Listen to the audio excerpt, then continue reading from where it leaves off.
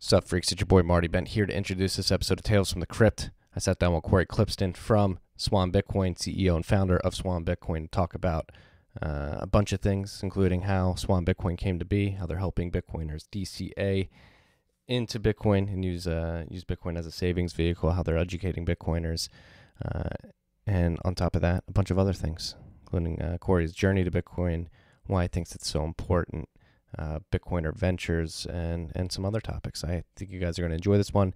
This episode of Tales from the Crypt is brought to you by our good friends at the Cash App. You freaks already know all about them. Right, they're helping you do many things. They're becoming a neobank. Uh, you can do a lot with the Cash App, including stack sats. You can stack sats, send sats, receive sats, uh, sell sats if you so please. Uh, you don't have to, but the ability is there. On top of that, they're helping you stack slivers of stonks.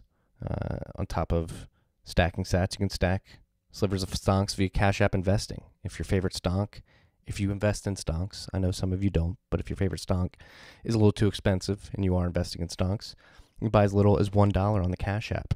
And because the Cash App is connected directly to your bank account, or because it is your bank account, you can get an account number and a routing number now, and you get your paychecks directly deposited into the Cash App. makes it a lot easier to stack sats. It takes out a whole step in doing that. You get your uh, your your work check deposited into the Cash App, and you can start stacking Sats with that right away. And you can even set up a DCA function. We do it once a week, uh, once a day, once a month. You can set that up in the Cash App. Now they just released that, and st- Sats are the standard. You can make Sats a standard within the app. I've been doing that recently.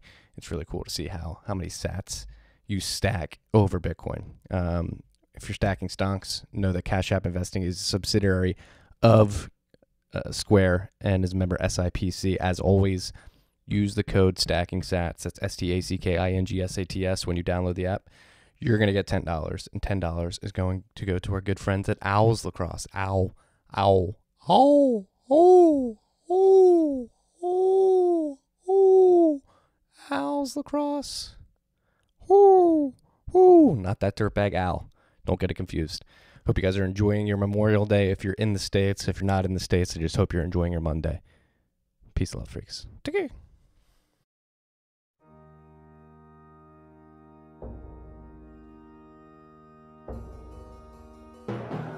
You've had a dynamic where money's become freer than free. If you talk about a Fed just gone nuts, all, all the central banks going nuts. So it's all acting like safe haven.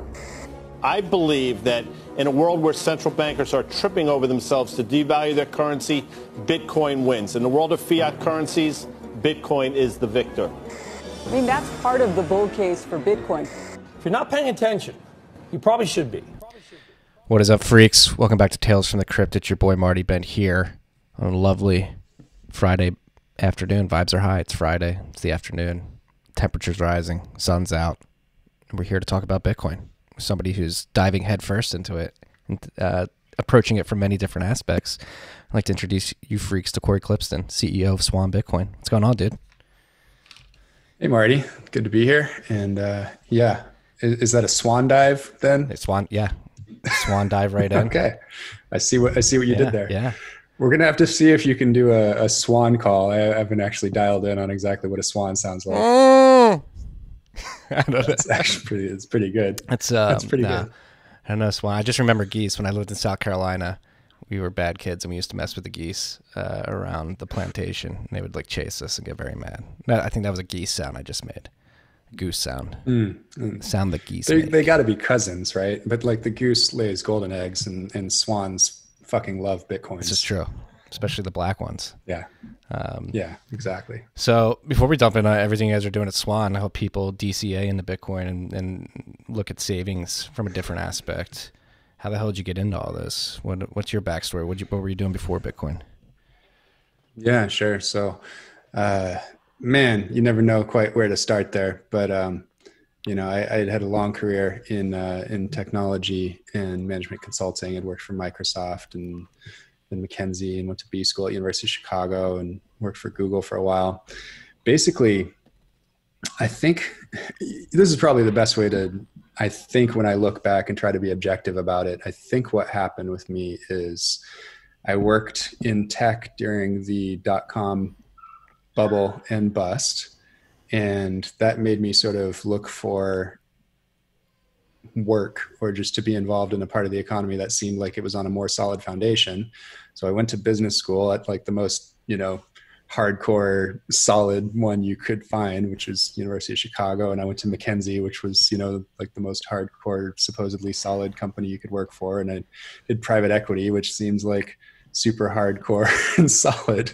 And i ended up basically you know in the middle of this massive bubble in the supposedly you know solid real economy um, you know, in private equity in, in 08 just kind of like shut down. And I, had a consulting firm in, uh, in Chicago that I was running at the time, post McKinsey. And, uh, you know, just kind of watching all this stuff go on with the subprime and, and the whole global financial crisis. And I was looking around and I was like, damn, this, uh, doesn't seem so solid either. What is going on here? So that was kind of, you know, priming me to, to always be on the lookout for something. And, you know, the, the genesis of me getting into the startup world, which I've been in for a long time now, was just wanting to have more control over my own life and have more control over my own outcomes. Um, just kind of like bet on yourself.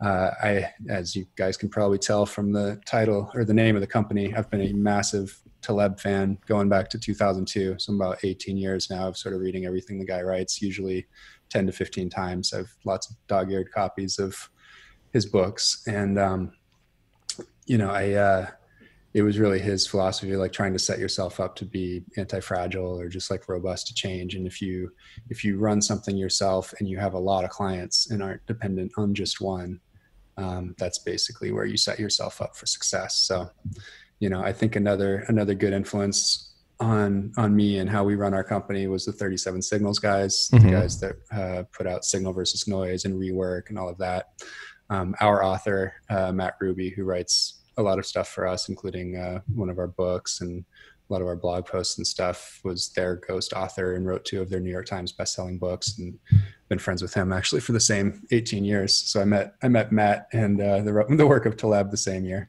So that's pretty cool. Um, so I wanted to get into startups. I uh, I couldn't really figure out how to get from like management consulting into early stage startups because everyone wants to pigeonhole you into like working for, for some late stage, heavily venture funded, and then give you kind of a straight jacket role as like strategy guy or something like that. It was just super boring, just more of the same. I wanted to build things and make mistakes and, you know, have your ideas be meaningful and, you know, change the trajectory by 50% or 100%, not, not 2%. Um, so I, I, actually went to Google for a couple of years just to kind of network with VCs and startup founders and really just start my apprenticeship and start learning. So from 2011, I basically started learning how to run startups. I was mentoring in as much as I could add some value, maybe on the marketing side or the strategy side, uh, some local startups in Chicago and then in Los Angeles when I moved out here. And then by summer of 13, I felt comfortable enough that I had a good enough network and like a little bit to add um, value wise to get into the startup ecosystem. Um, so I did. I jumped in. I, I, started advising, started cutting some angel checks, and um, and started looking for companies to join and actually operate in. Um, and this is where the, the timing actually dovetails interestingly. So I joined uh, an ad tech startup in uh, December of 13 and uh, raising the first round of capital for that company. Uh, I was running around to conferences and I was at a tech and media conference January 29th of 2014 here in Los Angeles. And uh, and someone was passing out Bitcoin, saying install this blockchain wallet and I'll give you fifty dollars of Bitcoin. So I did, and uh, proceeded to not go down the rabbit hole, not read the white paper, and lose the private keys. Um, so you know, I, I definitely feel the pain of of people that feel like they've missed it. I absolutely just missed the signal and didn't pick up on it. Thank you for for your service for for losing that private key. Your uh, your donation to to the rest of the hodlers is, you know, is well respected. Just just trying to reduce supply a little bit. You know, like that's the mission. Yeah. Reduce the supply. Reduce the available supply. Uh, nah. Um, I um before we dive into like the Bitcoin stuff because I'm happy you brought up 37 signals. I was actually I've had two touch points with that book they read about the startup culture and running lean and iterating quickly and testing ideas. And I think it's and again, like coming, I, I'm interested to hear the dichotomy of coming from McKinsey and University of Chicago, and then that sort of education that the 37 Signals books provides, where it's like just get out there, iterate, iterate, iterate, and sort of goes against uh, some of those cultures in in uh, established academia.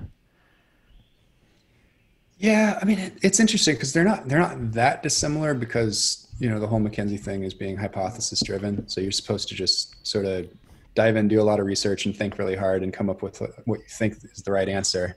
And you don't test like ten things; you test one thing and see if it works, and then you learn and then make the the next best guess, which is not all that dissimilar from you know getting out an MVP that you think is going to have product market fit, and then iterating based on user feedback. So I think maybe that's just kind of a smart way of doing things generally so it's a little bit more about you know who are you doing it for? Mm-hmm. you know i was constantly trying to save dying companies that were doing horrible things around the world.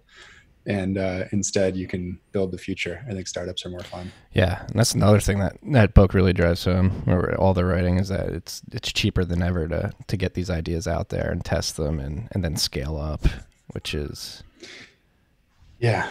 And and also just like what you learn from being in the game, right? So just by putting out a product and and putting up hanging up a shingle and telling the world that you're doing this thing, that's how you get people coming out of the woodwork wanting to help you and wanting to do things. And, you know, I uh certainly had that thesis. I was like, if I can just hang up a damn shingle in Bitcoin and say, like, we're doing this in Bitcoin, you'll meet people and you'll have ideas and you'll figure out what the right thing is to do. We can get into that a little bit uh, later, you know, kind of the evolution of, of this company and this project over the last year. Um, but uh, yeah, so let me just quickly finish that story. So yeah, so I started going hard at startups. I spent the next, you know, seven years now uh, in the startup world. I ended up having a uh, a pretty good spike, I guess you'd say, or just like ended up being pretty good at, at raising money. I've been doing that for a long time anyway. I used to raise money for like nightclubs and restaurants starting 2004. Um, and so I started doing that heavily in the startup world and, and, um, you know, basically from leaving the ad tech company in the late 2015 over the next four years, I was in that sort of like strategy and fundraising advisor seat next to an early stage CEO for a little over a quarter billion of fundraising across like 30 something rounds for about 20 companies so got good at you know writing decks big network of you know vcs and angels and kind of reaching out to people and and getting them interested in in what we were doing with these different companies. So that was kind of my training and that's what i've you know i don't i don't know how to add more to bitcoin i'm not going to be a core dev i'm not going to not going to understand a lot of things but one thing i do understand is you know bringing people together around uh, a company or a cause and essentially just kind of like throwing a party around anything that I'm personally passionate about and just getting people inspired and, and helping them rally around a cause. Yeah. And I mean, I think that's evident in Swan Bitcoin. The team you've amassed is sort of, uh, feels like it's just naturally come together. Yan wrote Inventing Bitcoin, and that's a book that my wife and I read aloud to each other on a roof one day and really helped her understand Bitcoin. It's actually funny. There's nice. like a Chicago theme throughout all this. He's in Chicago. He worked for Reverb or was the CTO of Reverb, which is like a guitar focused yep. company. And I, I know that website alone because my roommate in college like desperately wanted to work for them. He's like a graphic designer, and like he he would always talk. Oh, dude, my dream job would be like working at Reverb, designing their sites. We have a bunch of friends in common randomly. Just people keep on coming out of the woodwork. Um, it, it's really funny how many people we had in common on Facebook, and you know, like there was this guy that used to run, you know, VIP for one of the nightclubs, and he ended up a few years later after we left Chicago, he ended up working for Reverb and, and doing some BD for them, and he hit me up and he was like, "Oh my god, I used to work for Yan." it's uh yeah so how did you two get connected? Like what is what is the story of of swan bitcoin oh i hunted him. year? i hunted him i hunted him like a beast. Yeah no I, I, just i loved the book. I uh, i went to bitcoin 2019 and uh, asked him to sign it and we were already kind of chatting. I, I had uh, started the company um, just literally earlier that month officially started the company i think june 5th of, of 2019 had the idea for give bitcoin the first product that we put out um, in april of last year and uh, was just building an advisory board of people that were really good bitcoin educators because i figured that's what we needed to be doing to get people to want to do that. The Give Bitcoin product is basically, you know, give somebody a little bit of Bitcoin so they start watching the price and you know feel like they have a little skin in the game. But you escrow it for a year, you lock it up with a custodian so they can't touch it, can't trade it for Ripple, whatever. Obviously, they can buy more, and you know this isn't going to be their whole stack. Hopefully, if you're doing a good job, and then over that year. Uh, we're educating them. So every month, you know, sending them a new chapter of The Gift of Bitcoin, which is the book that Matt is about two thirds of the way done writing. Uh, he actually uh, interviewed Matt Odell, I think this morning, um, for the privacy chapter, which is chapter eight or nine. Hell yeah. And that's, I mean, that's one thing I think is important. That's why I started this podcast, the newsletter. Is I, I just thought there was a an incredible lack of quality uh, education outside of technical resources. When I started the newsletter, it was all Bitcoin talk, uh, Andreas Antonopoulos book, um, and everything was very, very technically driven and trying to make it more make Bitcoin more digestible to to the masses is something that I, I I thought was necessary when starting this. So it's like when I see companies like Swan Bitcoin that put an education first um, sort of mindset into their product, I'm always very happy because this is crazy. It's like it's an alien technology, and there's so much misinformation around it, and trying to get people quality information is so important. Yeah. Well, I mean, yeah, I mean, you hit on it, right? I think education is the best marketing for Bitcoin because, you know, especially for our product, you know, one's propensity to buy Bitcoin is directly correlated to their understanding and knowledge of Bitcoin. So if you know more, you buy more, which is great for us. So we don't even have a head of marketing. Um, you know, Brady Swenson, Citizen Bitcoin podcast host, he's our head of education. Um, and his job is to put out tons of educational content all the time I love that. Head of education. Is that the first head of education at a company? At least I've heard of. Brady's doing. I don't know. Brady's doing great things. He's yeah. If you freaks haven't heard his podcast yet, definitely go check out Citizen Bitcoin. And so, um, how yeah. So how did you guys all like your your core team come together outside of Yan? You you chased down Yan, and how did the products? I chased down Yan. Uh, Brady, I reached out to because I just really liked his podcast and the vibe, and I, I, realized he didn't have a sponsor. And so I think in October, I asked him if uh, we could be his first sponsor. Uh, and then, you know, we got to know each other a little bit. And in December, when things started to heat up, and we realized that we were going to, a lot of people don't realize this, but we actually had recurring purchases for yourself as a feature inside of Give Bitcoin up until like mid December when we decided to strip it out and rebuild it and make it its own product. Um, but I once we knew we were going to do that and we knew we needed more bandwidth, we realized like, okay, the opportunity is huge here. We've got to go hard at this. Uh, I asked Brady if he would come and, and work on it with us. What was what drove the decision to sort of re-architect the the product at that given point in time? Or just getting feedback and it was really just to split it out. So give bitcoin.io, you know, there's people, you know, got probably like 20 or 30 gifts a day going on there still. And, you know, people use it, people love it. It's still a good way to try to red pill people that are just not going to give it the time of day otherwise. Um, but obviously like, you know, type one spending, spending money on yourself is a bigger market. And, and that's, that's Swan. This is just saying like, Hey, this is the place to set up your, your auto stacking and, uh, you know, this is the place that you should tell other people to set up their auto stacking because it's 100% Bitcoin focused. There's no distractions. There's no altcoins like you're going to find on Coinbase and Gemini.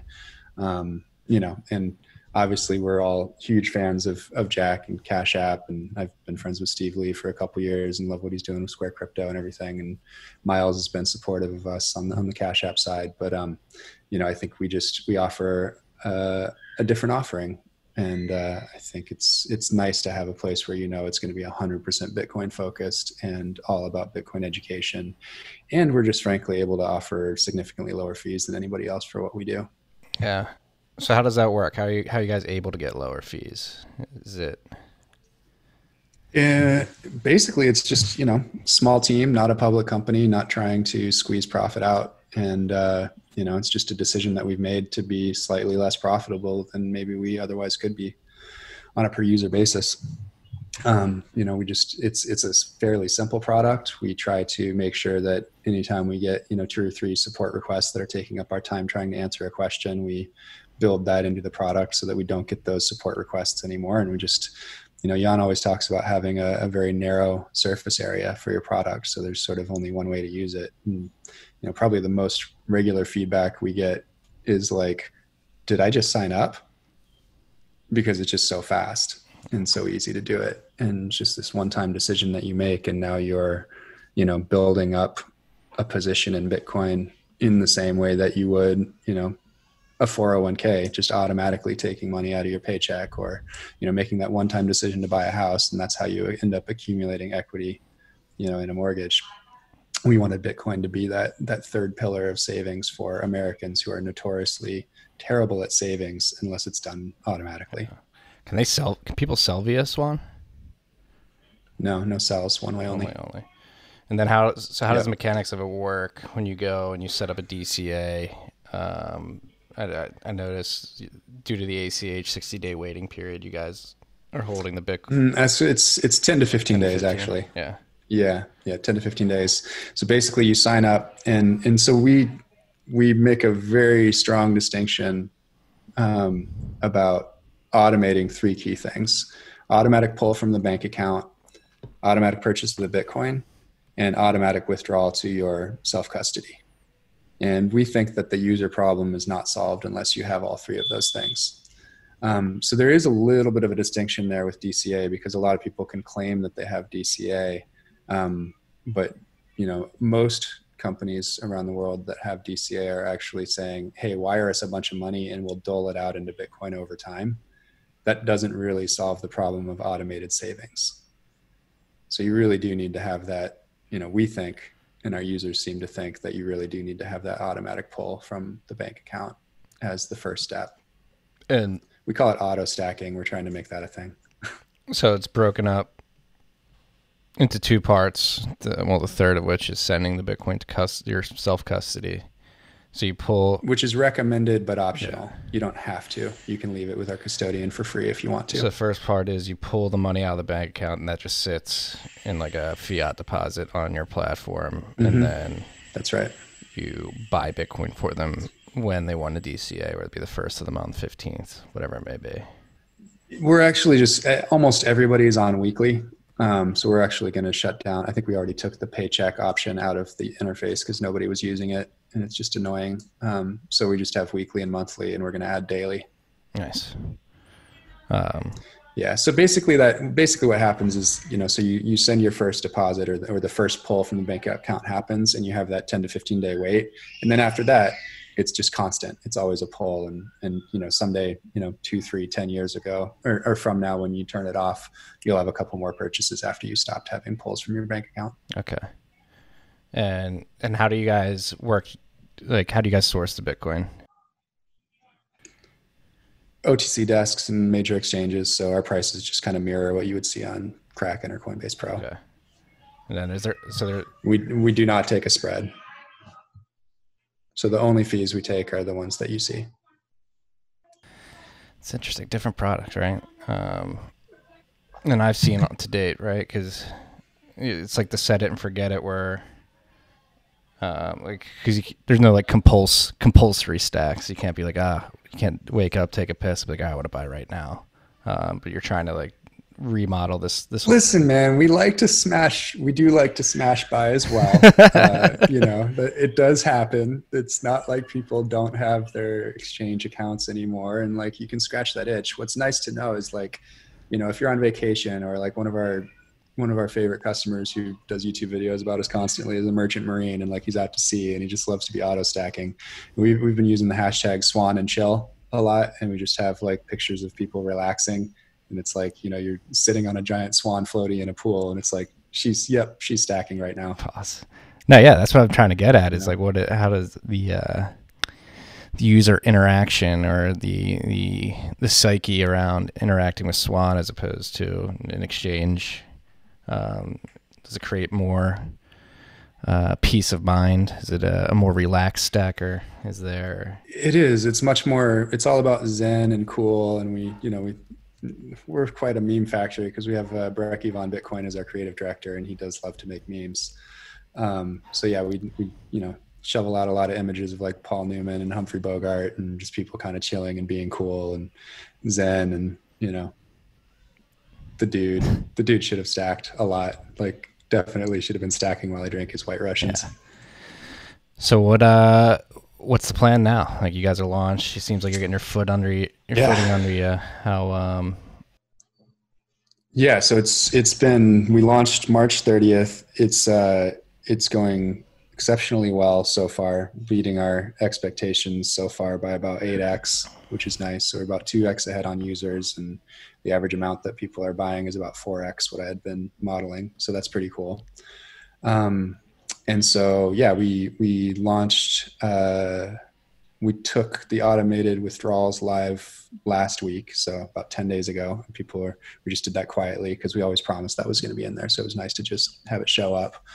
Um, but people are realizing that that's there and available. Um, we just launched a referrals program. So this is, even though we are US only for uh, customers, our referrals program is open to people globally. So if, you know, Wizard of Oz or, you know, somebody overseas in Indonesia or whatever wants to target US users on Twitter or you know on Facebook or Instagram or TikTok or whatever and try to get them to start stacking sats with Swan, you can just sign up at uh, swanbitcoin.com slash enlist E-N-L-I-S-T and, and just join the Swan force and start shoving Bitcoin at, at people in the US. So we get the whole whole world to market Bitcoin to US users.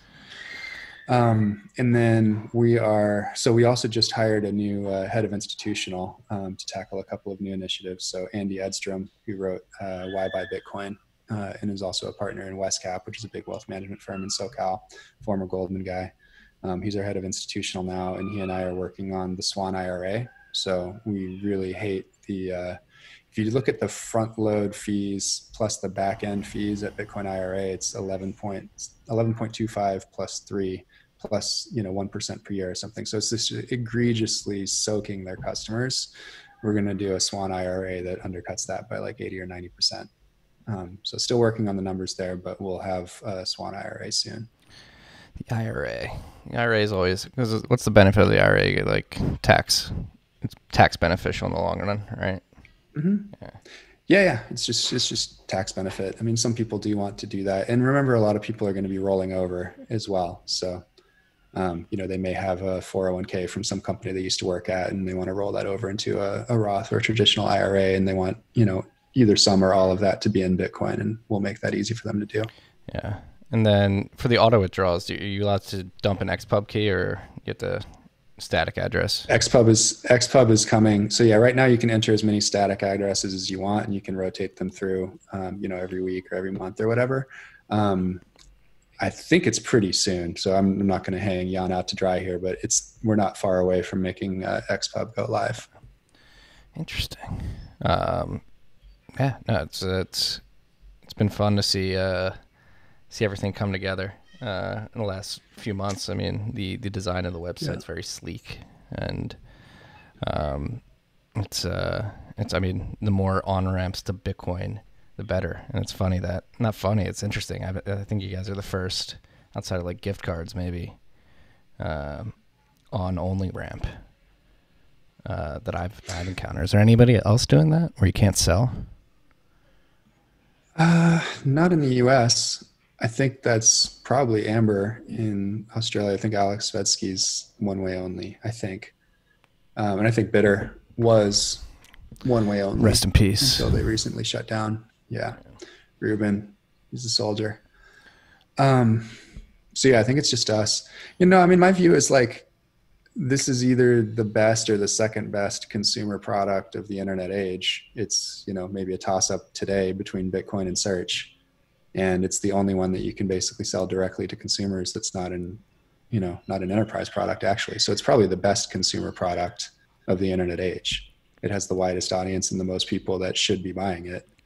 And so it's hilarious to me that there aren't already like a few thousand businesses just selling Bitcoin.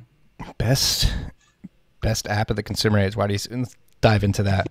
What are I said it's just it's just the best consumer product. I mean, you're literally selling good you can use bad money to buy good money.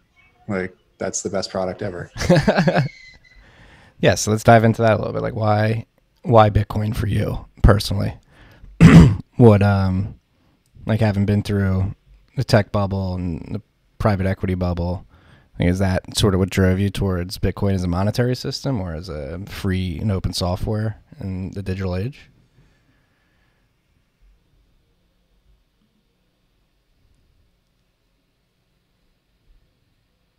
It's very clear now that you know the, the big problem with the dot com bust and the global financial crisis and what we're going through right now, which is GFC two or Great Great Depression two. We'll see what it is.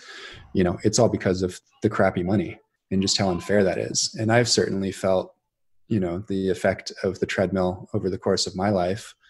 Um, you know, just like it seems very difficult to to get ahead when your money is crappy and the culture is constantly coming at you telling you to consume and you know we've been fed these these narratives that are all around consumption and even when you think that you've broken out of the narrative and you think like oh i'm not going to go buy the mcmansion and the car because i'm liberated and instead i'm going to be one of these people that goes and you know consumes travel and experiences and then later you realize that that was actually just you know companies and the system kind of marketing that to you as well.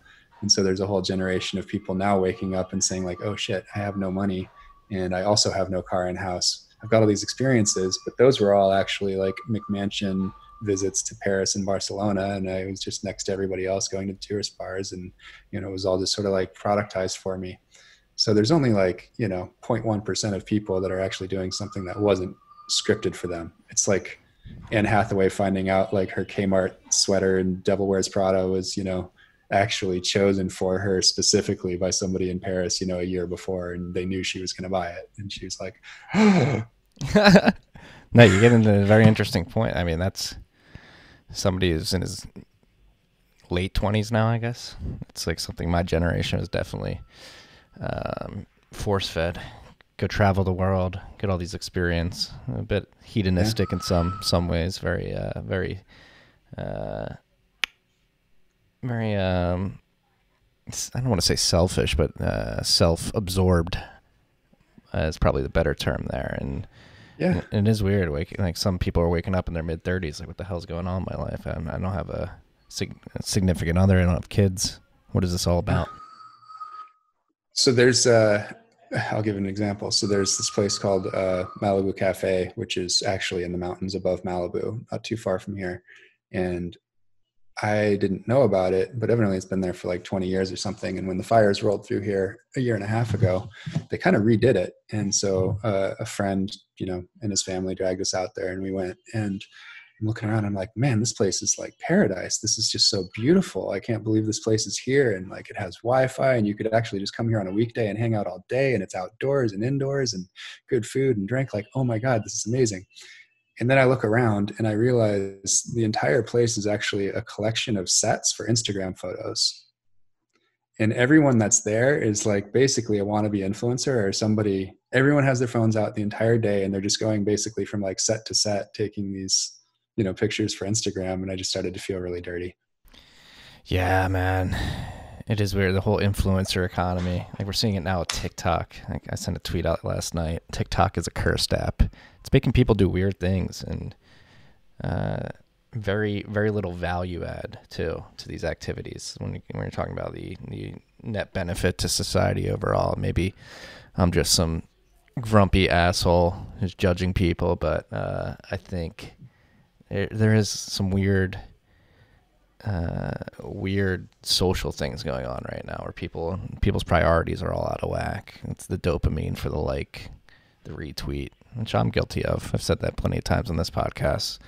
I certainly get guilty of it on Twitter, but um, when it comes to like the influencer economy and and like just wanting your life to look better than it actually is, to virtue signal to people you don't even like at the end of the day or or, or know is, is very very weird. And again, like going back to like hedonism, we are at this weird part of of humanity, this weird time in humanity where it seems very again self absorbed and is the pendulum going to swing back towards a more communal type of uh, society um, that values family and and looking after your neighbors instead of instead of pumping yourself on these apps.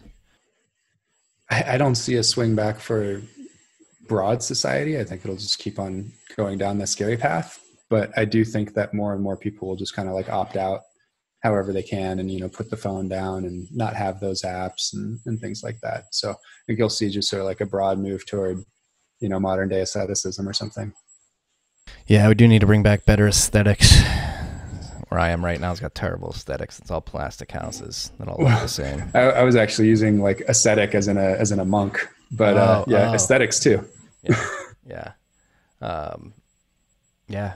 And that's I mean, that's another interesting thing, like with the all the tracking that goes on on these phones and these uh, this tech that we have. Like, are people going to start putting down their phones? Like J.W. Weatherman came on and said he's going to start leaving his phone at home when he goes out. Like, is the dri- is the drive for the surveillance economy by the government going to force people to sort of try to unplug just to to stay away from from the Orwellian Overwatch? Yeah, yeah, it'll be uh, it'll be interesting. I mean, just the uh, you know trying to balance time with your family and time with work when you know that your work and your engagement with the you know the Bitcoin community globally is just so accessible right there in your phone. And we have like support chat on my phone, and I have Twitter on my phone, and I have Slack on my phone to you know work with the team and all these things. And it's like, yeah, if you want to be a good dad to a five year old and a two year old and like a, a stand up husband, you know, you need to really block off some some quality time where you leave the phone in a different room. Yeah, how, yeah. How do you manage all that? Running a company, having having young children, trying to trying to balance that act. You you might get different answers from the two adults in the home. Uh, Mrs. Swan probably thinks I'm falling a little bit short, but um, I mean broadly, like my setup is uh, I take them in the morning, so I'm kind of like with the kids from the time they wake up at like six or six thirty uh, until my wife kind of gets up and about around like nine nine thirty. So I'm kind of like on my phone and with the kids for like, and this is this is uh you know COVID contemporary with not taking them to school. This is just kind of how it's been working for the last couple months, and and will be working for the next three or so at least. Um, and so I have kind of that three hour block where I'm kind of working and engaging and doing Twitter and setting agendas for the day and and kind of just thinking while also managing the kids. And then I have kind of like an unbroken block of work from call it like 9:30 until about 4:30 something like that. So i get get like a good solid 7 hours. And then it's kind of like you kind of start getting pulled into some house things. And it's kind of again another 3 hours from like 4 to 7 where it's bouncing back and forth between work and family. And then really like 6:30 to 8:30 when i can get the second i, I put the, both girls to bed as well. So um usually so that's kind of like phone is away for those 2 hours so there's 2 hours each day where i'm like just with the kids. And then also when we, uh, you know, my wife and I not only auto stack Swan and chill, we also Netflix and chill uh, late at night. And I leave my phone in a different room for our, you know, hour and a half, two hours of just kind of like hanging and talking. And she's gotten really good at making cocktails. Uh, she already was pretty good, but it's off the charts now. What uh, what are your go to cocktails these days?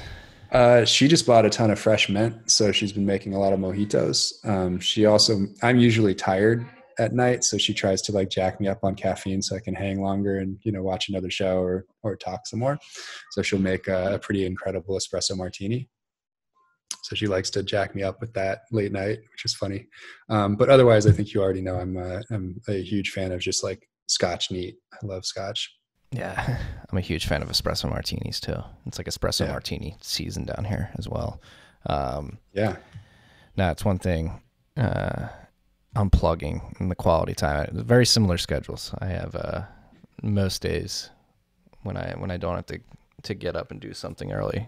If I have like a lot of calls, I try to get to bed out earlier. But yeah, waking up at five thirty and chilling, chilling with my son until like eight thirty nine, nice and then um, yeah, busting ass until like five thirty. Sometimes later than that, and he goes to bed around eight. So it's very similar. Um, yeah, but it is weird with this new. Nor- uh, I just said it, new normal. I don't like to say no, new normal because I think things will get back to. Um, I don't. I think things will get back to what normal, whatever normal is, what things were at some point. Um, I'm not as I'm not as worried about everybody being uh, being stationed in our pods for the rest of eternity.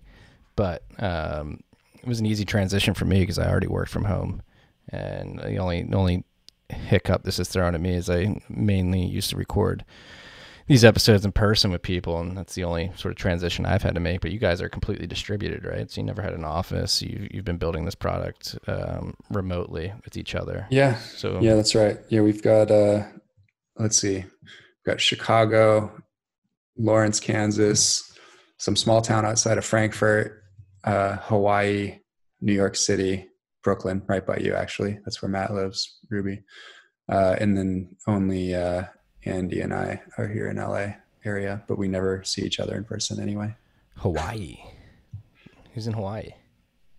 Uh, one of our meme warriors that does a lot of like social media stuff for us, Robbie. Yeah. Oh, and I should mention, and Guy Swan. So Guy is uh, actually doing all of our like PR media outreach and and like pitching, you know, Yan and Andy and me and and Brady and and himself and Brekkie for you know podcasts and articles and stuff like that. So he's he's uh, learning the PR trade and, and approaching people as a peer. Like I also am in media, and it's uh, it's starting to pay off. He's booking a lot of appearances for us, which is awesome. Bitcoin Audible. Yeah, man. Best pivot I've seen in this space from crypto Yes. economy. Yes. Um, Great new title. I love it. So what are you uh what are you most looking forward to in the Bitcoin world? Like outside of what you guys are doing at Swan, what uh what are you paying attention to? Um, obviously you got uh, Bitcoiner Bit, Bitcoiner Ventures as well. What uh what's what's the whole ethos behind that and, and Yeah. why are you guys doing that? So Bitcoiner Ventures is is uh, the actualization of an idea I had in like summer of 18. So I, I basically, you know, I got into Bitcoin proper in spring of 17. Started going down the rabbit hole. Did the shitcoin horseshoe for about 10 months. Became a maximalist by like March or April of 18.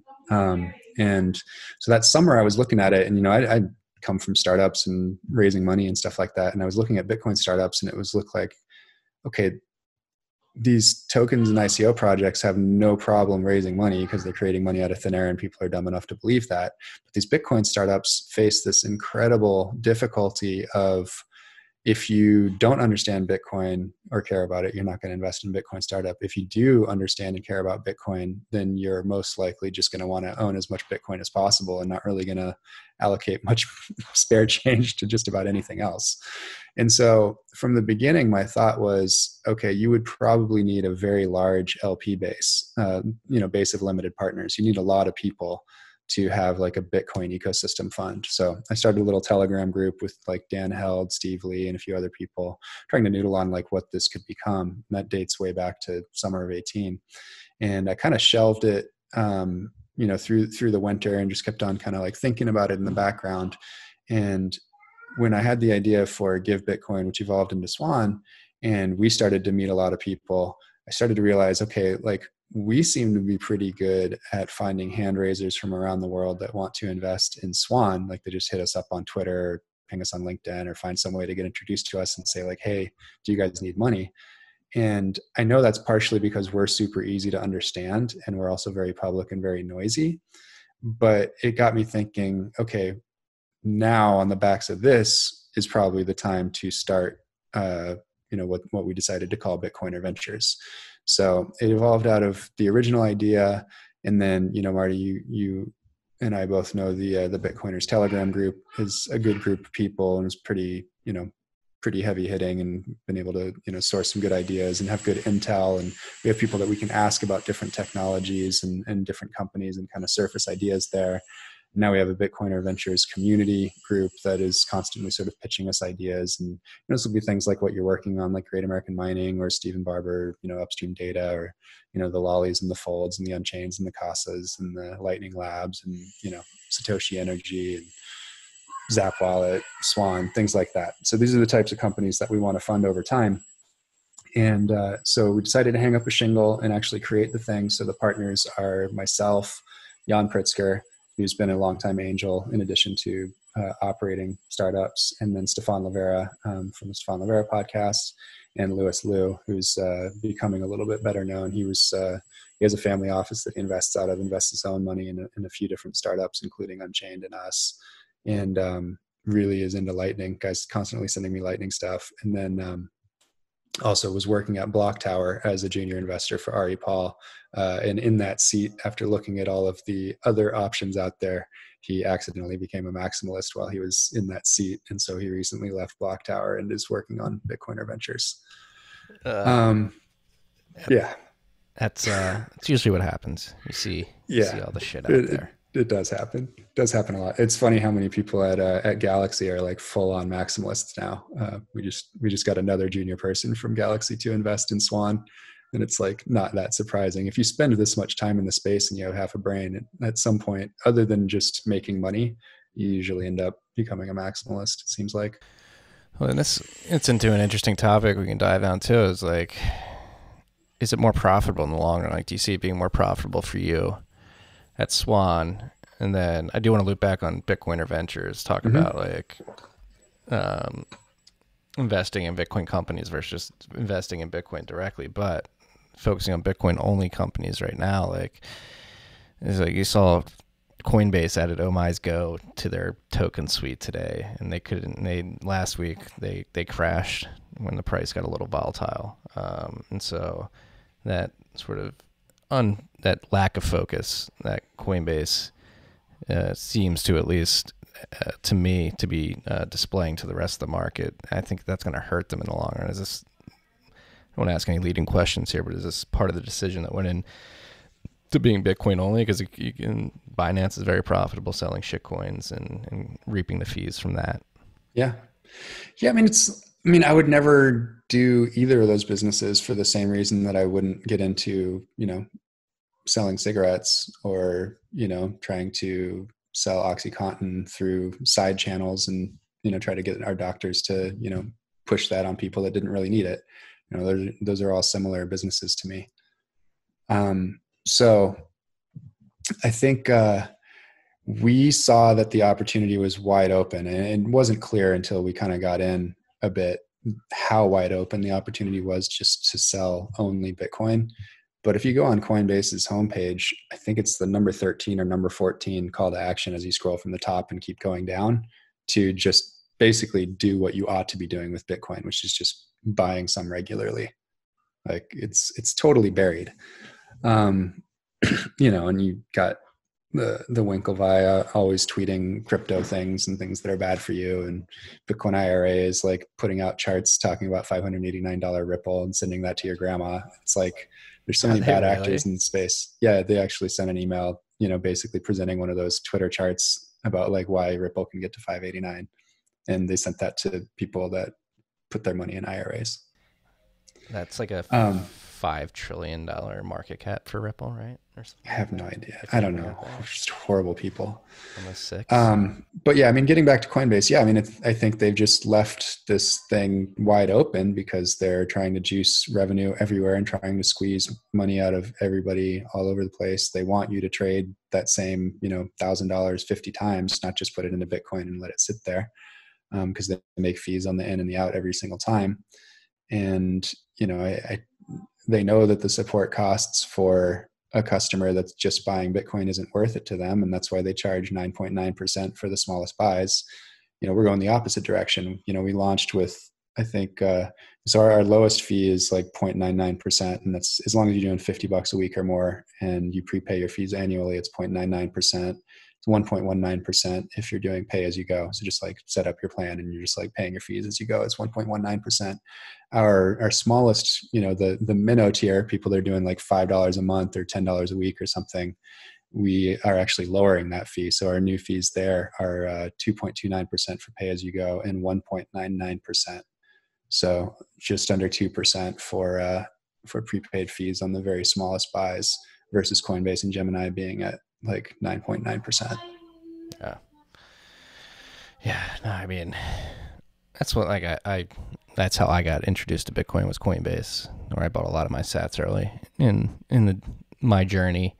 It's just like such a shame to see them fuck up this opportunity and and again mislead their users. Like, oh my's go, they added that today. Like, why would you add that? Isn't that like a dead project?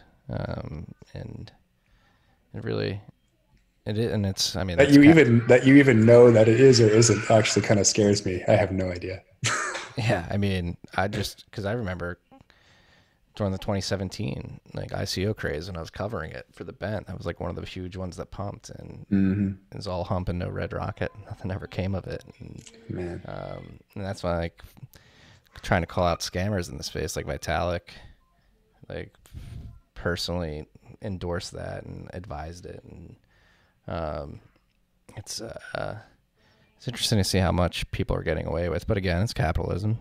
The uh, the opportunity uh, for individuals to make their own mistakes is should definitely persist. But uh, and that's what I'm so f- in uh, so happy about in the last two years, particularly, is that Bitcoin only companies are coming to market, and uh, it'll be interesting to see if we head into another bull run, uh, who who ends up surviving or at least being more popular on the other. Yeah, end. yeah, I mean, and and tying that back into Bitcoiner Ventures, like so, I I do believe that uh, some of this current cohort of Bitcoin only companies will far outperform the Bitcoin price. Um, I would not say that a basket of them will, but someday, I don't know if it's at the end of the next cycle. So, like if we're talking again in you know 2025 or 2026 or something like that, and you know there's a new cohort of bitcoin only startups that started in 2023 24 or whatever. You know there will be a time and we just want to be ready for it with the infrastructure there where i actually think like a basket of of good bitcoin startups that will actually be really smart to own those because it'll be a little bit more about adoption and services and lightning and payments and all of these other things. So for me like i'm going to be in bitcoin for the rest of my career you know getting started today and and building out that infrastructure and finding the hand raisers around the world um, who are you know interested at least in learning about bitcoin startups and occasionally writing checks you know whatever their calculation is on risk reward they may make a judgment. You know i personally have made the judgment that you know i personally think that you know swan's going to outperform bitcoin. You know i think our equity is going to outperform the bitcoin price over the over the lifetime of this company or i wouldn't be doing it. I'd just go work corporate and you know stack sats with the excess. I'm taking a startup salary instead of working at google or mckinsey like obviously i believe in this thing. Um, but uh, i do uh, I do think that we're probably like a cycle or two away from like a basket of Bitcoin only startups outperforming Bitcoin on price. I think Bitcoin has a lot of legs left. It certainly does. It's a bold, bold, bold statement. Outperform Bitcoin performance. Outperform the mm. corn. Yeah, I mean, I, I don't know. I mean, BitMEX did 2200x in four years on their equity since their seed round, and Coinbase was like, you know, even after it was already pretty large, and they had like a, a, really high priced A round, and they did another like 16 or 20x in the next three or four years. Like, it's not unreasonable for some of these businesses to grow, and especially if you're talking about getting into the seed round, which is our focus. That's our entry. That's our desired entry point for Bitcoin Ventures. Is kind of like sub 20 million. You know, there's a lot of upside for these companies potentially. Yeah. So how's that? Does it work similar to Bank for the Future, but like without the shitcoin and without all that? Like you're just looking to get in. You're looking to get in early. Oh yeah, yeah. So so we probably will eventually have a committed capital fund and just operate like a normal VC. But for now, it's uh, AngelList syndicates. So you go and you you know sign up for AngelList and subscribe to the syndicate, and then you have the right but not the obligation to invest in our deals. So just go to bitcoinerventures.com and uh, and you can see the link to the AngelList Syndicate there, or you can just sign up and leave your email address, and we'll let you know what's going on. But we are just about to close down our first deal, which uh, hopefully, when Yan is on in a few weeks here, uh, he can announce that. But it's a well-loved, well-known Bitcoin company, and we're super proud that they're our first one and being able to contribute some money into their current round. Yeah. What's the uh, what's the minimum check somebody has to write? Thousand Fed bucks. It's not bad at all. They're printing that every millisecond. Right. Yeah. And that's like if it does outperform Bitcoin, if any of these companies, that could be life changing for so many. So like that whole concept of letting retail um, get into these rounds is very fascinating. Well, AngelList, remember, is accredited investors, so it's not everybody. Um, uh, so you, you self-certify, but you got to answer some questions, and like AngelList has to certify you to be able to invest in deals. So okay. that's not that's not crowdfunding. No. Okay, I didn't realize that. So you have to you have to have more yeah. than two hundred fifty thousand in assets or tradable assets at least. Whatever whatever their rules are, yeah. yeah. Um, we are looking at. Uh, I've been talking to the Republic people as well about doing Republic raises, which is actually proper crowdfunding. Um, so they kind of spun out of AngelList. I think it's the AngelList CFO or something like that. Um, and they seem to have their they have a, a, pretty tight filter on who they actually work with and they have like a really professional team and they uh, they have reputable partners. They use the same custodian that we do, uh, Prime Trust. Um, so I'm feeling pretty comfortable with those guys. So maybe we will actually do some uh, some big global crowdfundings for some of these as well, where it makes sense. Like that could make sense for something like Swan, where it's you know it's a one sentence pitch. It's not particularly techy. It's easy to understand. So you know that that might be you know or something that's you know kind of really well known because it's kind of like a household name or or has a large user base. So something like a Fold that has many tens of thousands of users, or like a like an Unchained that has you know so many people reading Parker's series. You know, I, I think those those become more marketable. It'll be hard to do crowdfunding for something that's uh, you know a little bit more techy and arcane, and you know doesn't have isn't particularly marketable to a broad base. No, you br- that bring us brings up an interesting point, like the uh, content marketer to actually be successful, at least in my opinion, moving forward. You have to get, be good at content and providing good content, valuable content. And Parker certainly does. With gradually and suddenly, obviously, you have the head of education um, on your uh, Brady working on all this stuff to Yep. to get it out there, and Guy educating people uh, with his content, which is And basically- Brekkie, Brekkie is the general in the great Bitcoin meme wars of the 2020s. I mean, he is. he's. We've got something coming out called the Arsenal. So it'll it'll be launching soon. It'll be at swanbitcoin.com/arsenal, and basically are uh, are going to be a a lightly curated repository of every single thing that you could possibly want to uh, win the Bitcoin meme wars globally. Yeah, he's uh his blockchain and Morty series is incredible. Um, Yeah. Yeah, he- he'd probably like to forget the crypto brekkie days. We, we, we've got a lot of people that have uh, shed their skin and become all, uh, 100% Bitcoin over the last few years. it's I mean, it's hard to find somebody who went straight, uh, straight maximalist or just understood the value prop. And it's and I mean, again, going back to the nature of these open systems, it's it's easy to get distracted when there's so many shiny things running around. And I think um, Brekkie's doing a good job of of spreading the good knowledge, particularly on Instagram. That's something I'm terrible at. That uh, that uh, Yeah, he, he will fight and he'll, he'll, you know, he'll befriend people and like steer the ship slowly. You know, he maintains relationships with a bunch of the crypto YouTubers and he just tries to get them to like insert Bitcoin videos here. it's uh that's like yeah, it's another world that's Matt was bringing that up. He's got friends diving into space and they're going to YouTube first and he's worried. He's like, oh my god, what are you watching? There's it's like a whole other world of with an insane amount of people producing content that I don't even know about. Um, it's it's the Yeah. first way some people are getting exposed, which is which is weird. Like how do we how do we get like our content to be the first thing people come to? It's always something that's on my mind. I don't know. And I, I actually don't know how they keep their channels up because, you know, ours got banned fairly quickly. Um, Yeah. What happened there? Uh, Are you still well, banned? We, we, yeah, we're still banned. Um, so yeah, we got banned uh, as soon as we put up a placeholder video that had uh, Francis Pouliot's name in it. really?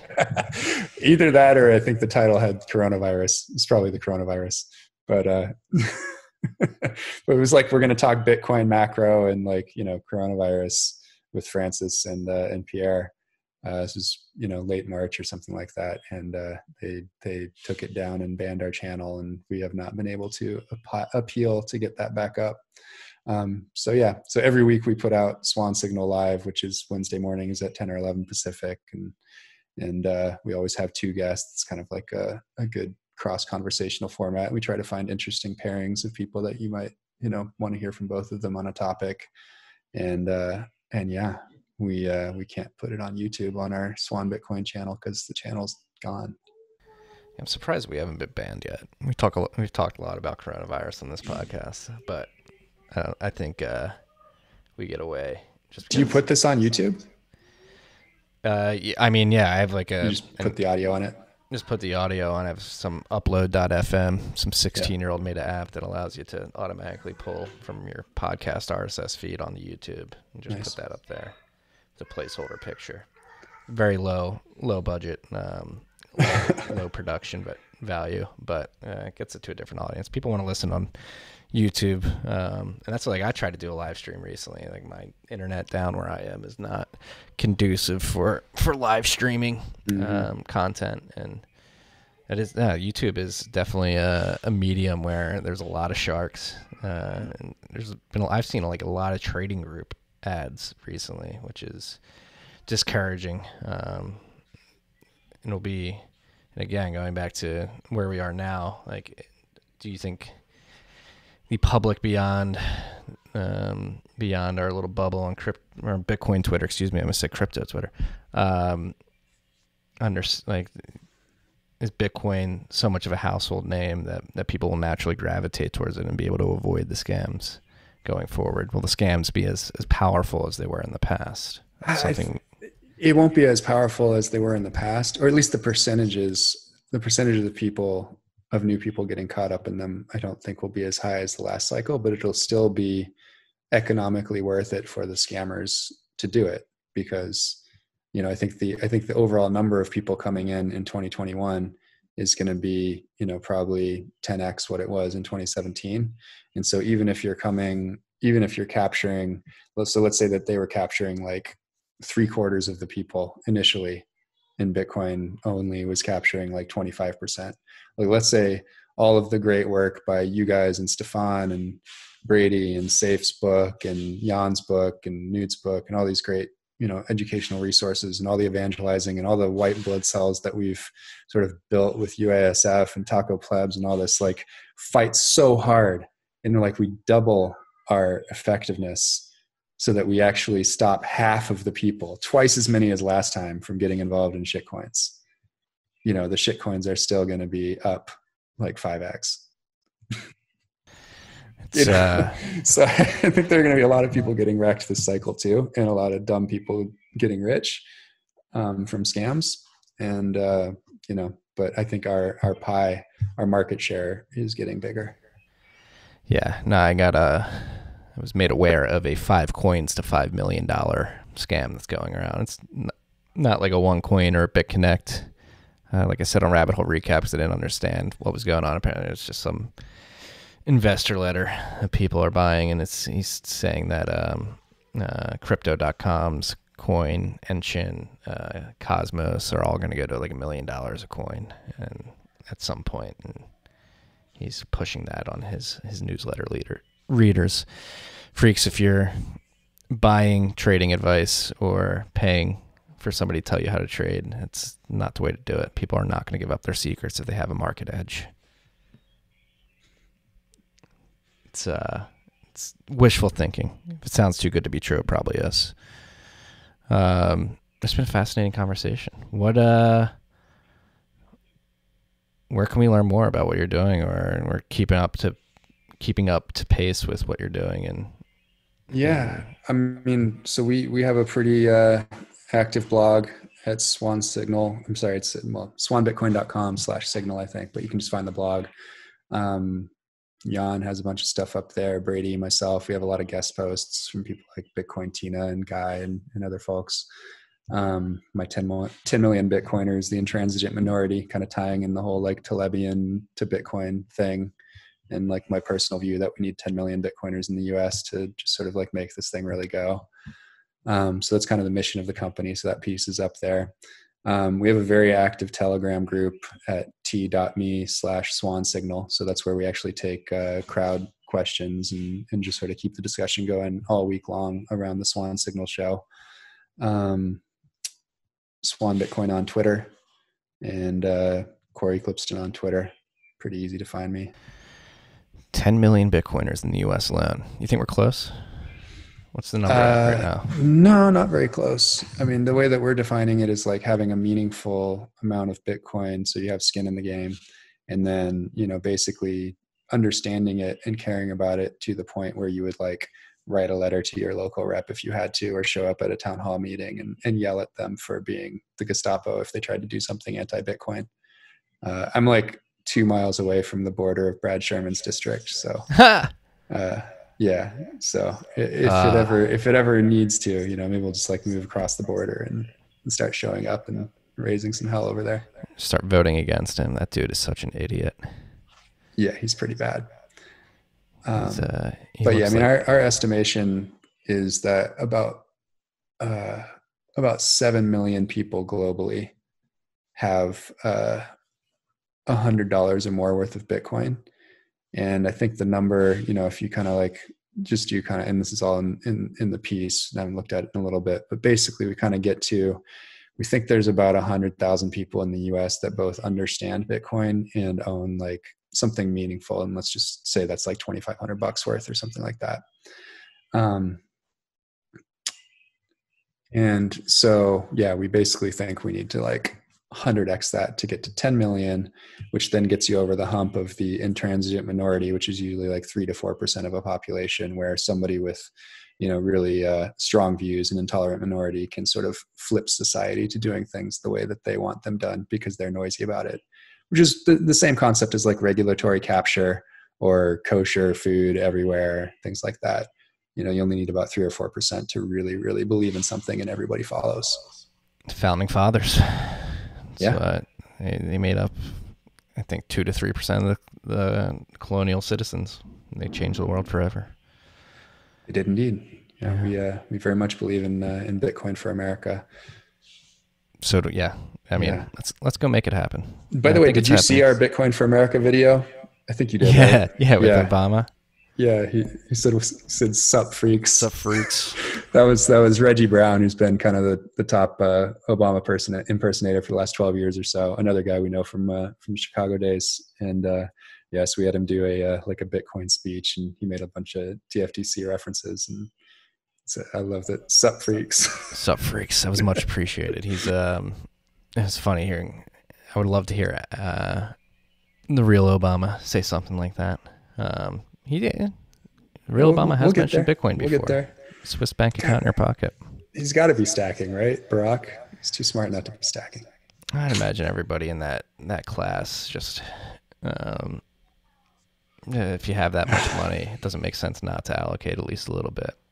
And who knows? Yeah. Maybe is uh, maybe he is uh, loyal to the empire and doesn't stack in uh, in solidarity with with the uh, with the fiat monetary system. Who knows though? It would be just just depressing.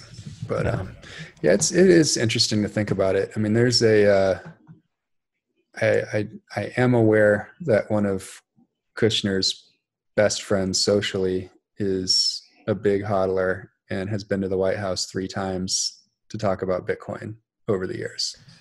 Yeah. Matt Matt says that Donnie Donnie stacks. Donnie or stacks? Somebody somebody in his he uh he assumes that somebody in in Donald's circle is holding Bitcoin. Probably Nice. his sons. Well, I, I just checked the dashboard, by the way, and I was just thinking about Paul Tudor Jones, and I wanted to see. Uh, so our our best day for signups ever was the the day that Paul Tudor Jones came out saying that he uh, was was hodling. However, I don't care. Whatever for him, futures, spot, don't care. Cold storage, hot storage, even if he has it on Coinbase, I don't care. Just the fact that he's buying it is awesome. Um, you know, everybody else will follow that, and hopefully, we'll teach them how to do it properly but uh, yeah, today on a Friday, we are uh, we are one sign up away from uh, our all time high. Hell yeah, congrats, dude. You sure you're not streaming live? Yeah. might uh we might be. I hope yeah, not. this is this is nuts. Usually we we I mean we have we close the books at 5 p.m. Pacific every day, so I have like five more hours to go. I think we're gonna have our all time high today. Well, congrats on that. Keep chug keep chugging along. Keep spreading the good word. Keep educating. I appreciate you coming by, man. I know uh, I know I had to switch up the time today. Sorry for throwing that on you. Um, but yeah, keep crushing it, man. Yeah, working hard, man. We're just uh, trying to trying to do what we can to bring about a bright orange future. You know, Yeah. every little Bright bit helps. future. Yeah. Well, we're gonna keep pushing alongside you, and um, yeah, that's all we got this week, freaks. Peace and love.